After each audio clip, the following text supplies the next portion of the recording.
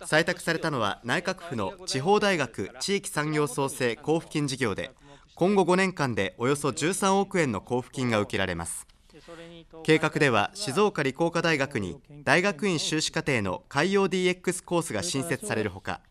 理工科大と静岡大学が共同で海洋学と情報学を合わせた学問分野の研究機構を設置し桜エビの不良対策などの研究を進めるということです。